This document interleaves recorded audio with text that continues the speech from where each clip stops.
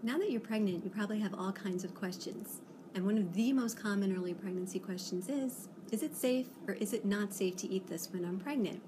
So, to help you navigate through that, I've compiled a top five fact versus fiction list of food safety during pregnancy recommendations. So, let's get started. Question number one Fact or fiction? Having one cup of coffee a day is considered safe in pregnancy. That's a fact. According to the most recent research, daily moderate caffeine consumption does not appear to have any major impact in causing a miscarriage or preterm birth or other similar negative pregnancy outcomes. So, what's considered moderate?